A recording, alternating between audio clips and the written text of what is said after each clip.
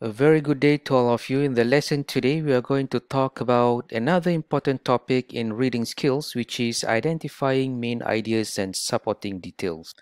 The ability to identify main ideas and supporting details in a reading text, like in a journal article, in um, magazine articles, in websites, uh, articles in a book, is very important because it will help us to quickly identify the important information that we need. For example, uh, if let's say we are doing our assignments, a written assignment, or we need to prepare for a presentation, so by being able to quickly identify the main ideas that we need to use in our presentation and in our written assignment, um, we can do the job quickly without wasting a lot of time read, reading every single word and every single page. Um, by being able to identify the supporting details, we can get all um, the factual information such as statistics, uh, numbers, percentage, examples, also quickly without uh, having to waste time uh, reading every single word and every single sentence. So by being able to identify main ideas and supporting details, we can understand um, a reading text and article better, quicker, and we can save our time when doing or looking for information uh, for the use of our uh, assessments and presentations. The other reason why we have to be able to identify main ideas and supporting details is because um, it is because uh, we want to be a literate reader we want to be a critical reader. So we do not just want to accept what the author of the article wants to tell us, but we want to think on ourselves.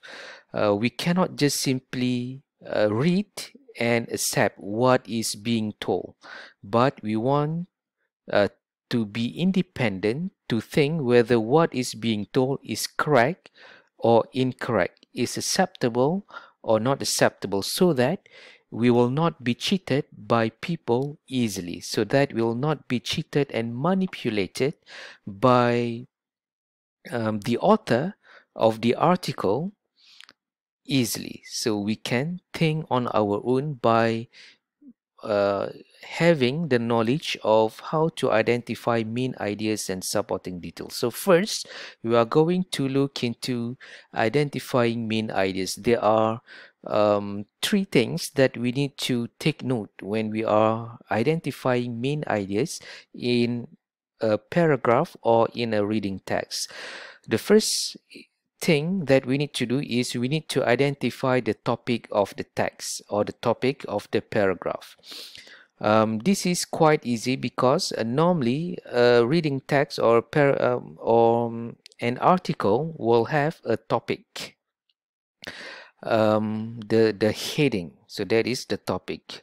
Uh, secondly we need to identify the stated main idea. So what is stated? What the author states um, what the author what the author states in the article telling the purpose of the author writing that article. So that is the stated main idea. It is normally in a sentence of course. And the third thing is identify the implied main idea. So implied main idea is just the opposite of stated main idea.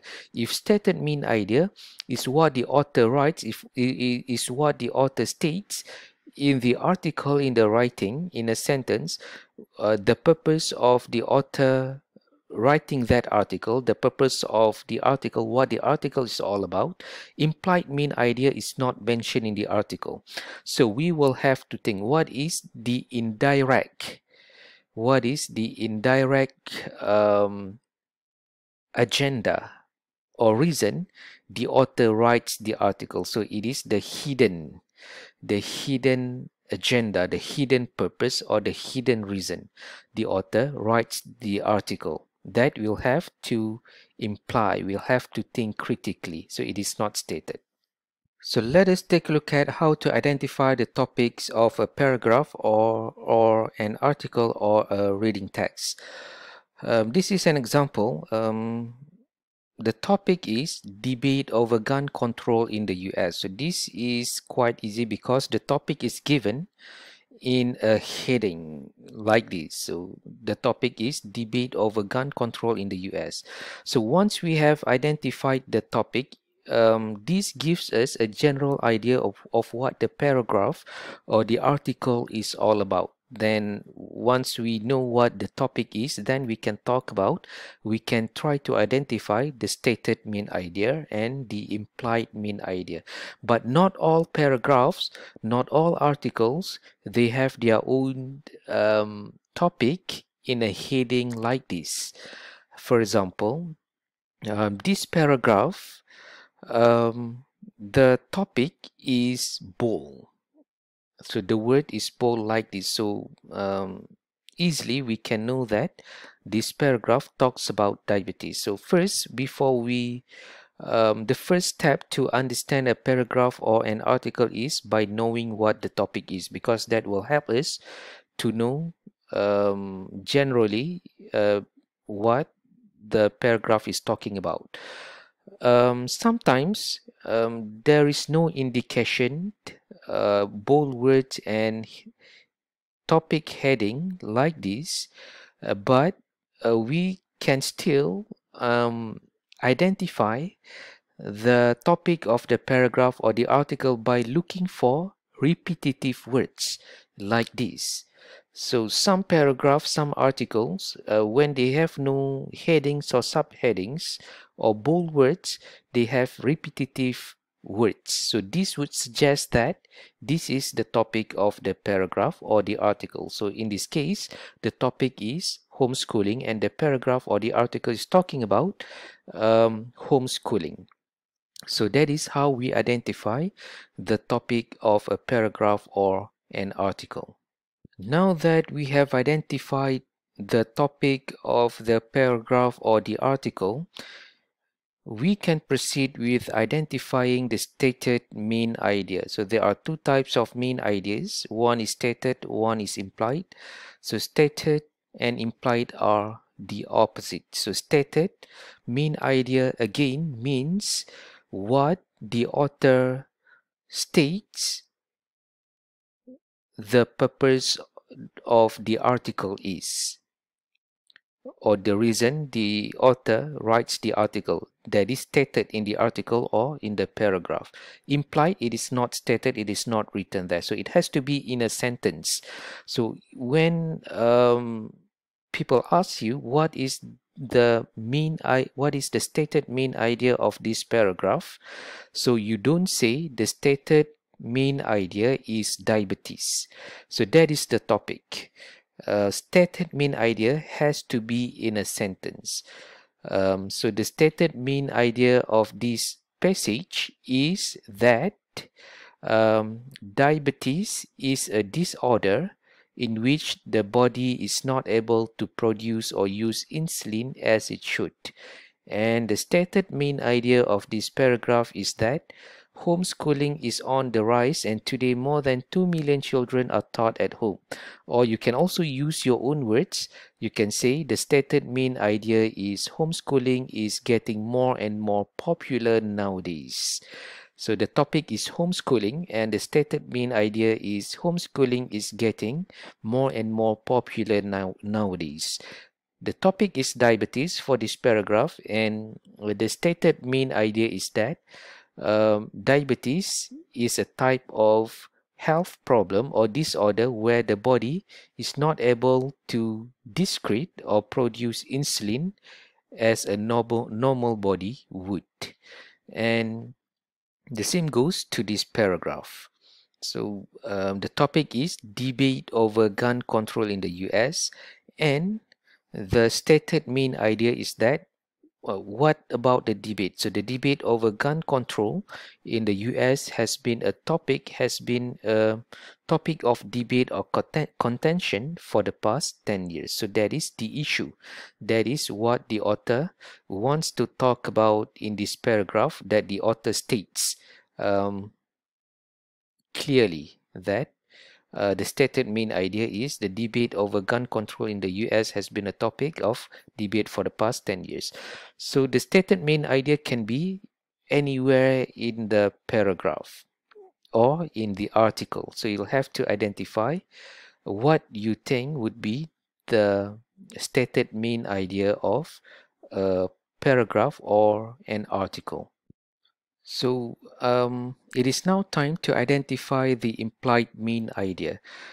Um, the implied main idea is the opposite of stated main idea and it is not clearly or directly stated in any one sentence in the paragraph or in the text or in the article.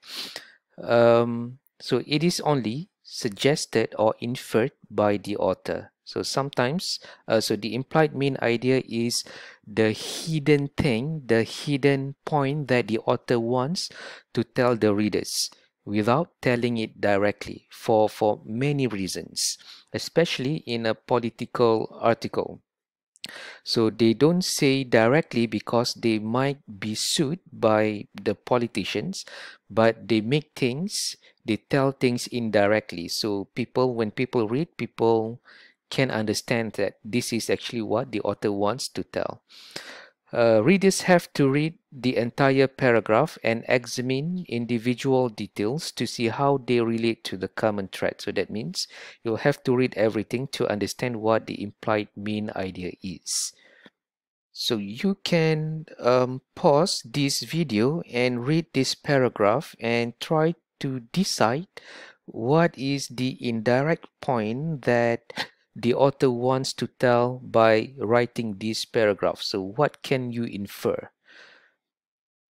So we can say that indirectly this paragraph, in this paragraph, the author wants to tell us that um, the sale gun, the sale of guns must be closely monitored to prevent the arbitrary and the senseless loss of innocent lives. So that means uh, the government has to really think about um, controlling the sales, the selling of guns in the United States uh, to avoid more people being killed. It is not directly mentioned here in this paragraph, but it says a lot of people are dead because of um, people being shot, um, a lot of uh, criminals uh, using guns and killing people. Um, and then the debate has been going on for many years. So what the author is trying to imply that the government has to take an action, um, control the sale of guns to avoid many people being killed. So that is uh, the implied. What is what the author is trying to tell without um, telling it di directly here in this paragraph. What about um, the second paragraph? Can you pause the video and think what is the implied main idea of this paragraph? So we know that the topic of this uh, paragraph is diabetes and the stated main idea is that diabetes is a type of disorder, health problem where the body cannot produce insulin but the uh, the implied main idea is that the author of this paragraph is trying uh, to tell us we can guess that he or she is trying to tell us that um, diabetes is a life-threatening disease that must be taken seriously because statistics shows that um, 17 million people suffer from diabetes and 5.9 million people are unaware. They do not know that they have diabetes. So this is what we can imply. So the reason why this uh, paragraph or the article is written by the author is that um, he or she is trying to tell us that diabetes is a life-threatening disease that must be taken seriously so the same goes to the third paragraph. We know that the topic is homeschooling and we know that the stated main idea is that homeschooling is getting more and more popular nowadays. But what is uh, implied here but not stated, we, what we call as the implied main idea is that um, when we read the whole paragraph, we know that uh, not many people agree with the idea of homeschooling. Uh, so those are some examples of um, how we can identify main ideas by doing these three things which is first identify the topic then identify the stated main idea followed by identify the implied main idea. So let us check out one example of uh, an article and try to um, look for the topic the stated main idea and the implied main idea. So this is an article from the website nationalgeographic.com and the title is uh, The Pandemic Pushed Cars Out of This Historic Scottish City. Um, so the city is Edinburgh. So uh, that is the um, so that is the topic. So the topic of this article is pandemic pushed cars out of this historic Scottish city. So we know that uh, by knowing the topic, we know that it is all about the pandemic and also uh, the availability of cars and other transportation in the city. So the stated main idea is um, that if we take a look at um, this article, uh, we would know that um, this could actually be the stated main idea. Uh, what the author wants to tell in this um, article. Um, so the stated main idea is that um, the COVID-19 pandemic has caused the prettiest streets in Edinburgh to be closed down to motorized traffic. So that means um, that is the stated main idea. So um, this article is going to talk about how the pandemic has caused uh, the roads to be empty in uh, streets in Edinburgh and also in other places under the UNESCO sites. Um, so if we so that is the stated main idea what this uh, article is talking about uh, the pandemic has caused um, the streets to be empty of cars and other transportation. Um, if we go through the article we can see that the implied main idea is that uh, the article has actually talked um, negatively about many cars on the road because it will affect the life of the livelihood of the people in the town. And um, the article actually gives us uh, um, uh, an idea that the pandemic is actually doing us a good thing by keeping the cars away from the road so that um, the the air and the environment will be more natural and will be more fresh uh, will be fresher. So for example if we can see here um, Edinburgh's old and new towns help the city attract 5 million visitors annually. And there is this festival brings 2 million people uh, annually and such popularity brings an injection of energy and economic benefits because a lot of people going to Edinburgh because of um, its uh, the town of heritage under United Nations and because of this festival. However, with a resident population of just 226 million people, the heavy, the many, the, the great number of visitors make the cities in a core one of the worst hotspots for over tourism globally. So because there are too many tourists, it has become uh, what we call as over tourism. So it is bad for the city. Um, so it because the city it caused the city to be um, polluted, over traffic. Um, so a lot of bad things happening. So actually, uh, this article is giving an idea that the pandemic is actually doing a good thing to the city, keeping uh, the cars and the visitors away and make the city more um, a better place to live.